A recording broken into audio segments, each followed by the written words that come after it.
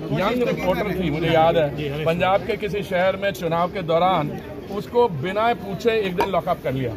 और जब उसका रिलीज़ ऑर्डर भी आ गया 24 घंटे उसको रिलीज़ ही नहीं किया। तो कौन तानाशाही की बात कर रहे हैं? एक कांग्रेस पार्टी बड़ी महान पार्टी है।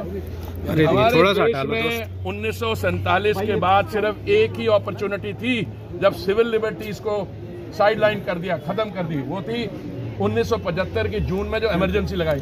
और ये लोकतंत्र की बात करते हैं।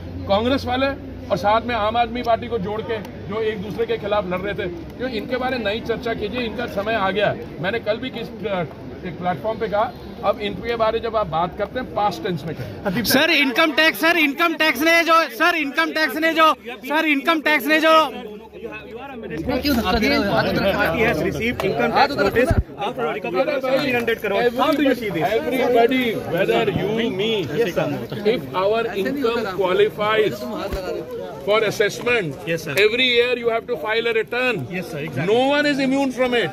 Not any member of any party or the party itself.